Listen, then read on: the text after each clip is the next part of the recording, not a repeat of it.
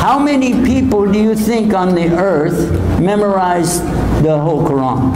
10,000? 50,000? 100,000? If I said a million, would you be surprised? No?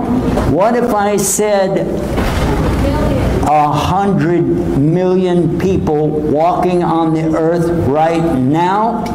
Would that be enough? No. No.